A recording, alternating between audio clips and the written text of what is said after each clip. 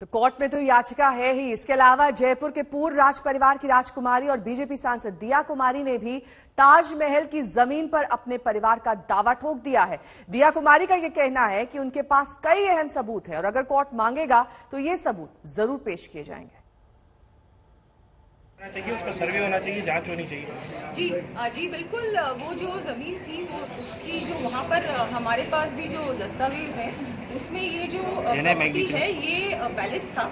और शाहजहां ने इस पे आ, कब्जा किया और उस समय तो क्या है कि सरकार उन्हीं की थी आज भी अगर कोई गवर्नमेंट अक्वायर करती है आपसे लैंड तो उसके बदले में मुआवजा देती है। तो मैंने सुना कि उसके बदले में मुआवजा दिया।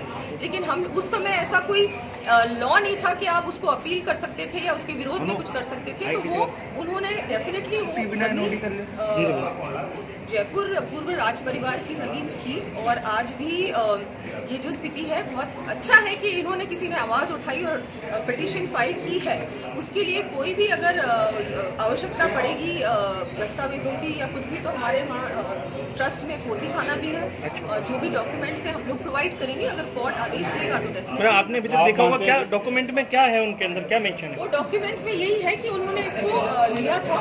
उस समय उनको अच्छा लगा तो उन्होंने उसको अक्वायर कर लिया। क्या कोई टेंपल था वहाँ पर? वो अभी इतना कुछ मैंने देखा नहीं है लेकिन डेफिनेटली वो जो प्रॉपर्टी थी वो बिल्कुल हमारे परिवार की थी। तो आपका मानना है कि ताजमहल को तोड़ देना चाहिए और मैं ये नहीं कहूँगी इस पर पूरा जो जो उन्होंने कहा है कि कमरे खोले जाने चाहिए कुछ कमरे हैं जो बंद है कुछ पार्ट है ताजमहल का जो बंद है सील्ड है उस पर डेफिनेटली इंक्वायरी होनी चाहिए उसको खोलना चाहिए कि वहाँ क्या था क्या नहीं था। देखिए वो सारे फैक्ट्स तो तभी एस्टेब्लिश होंगे जबकि एक बार प्रॉपर उसकी इंक्वायरी होगी और कोर्ट आदेश देगा कि इसको डेफिनेटली इसमें पता करना चाहिए कि पहले क्या था। आप लोग भी कोई अच्छी याचिका लगाएँगे इसको लेके सेंटर सेंट्रल हम देख रहे हैं इसको ठीक।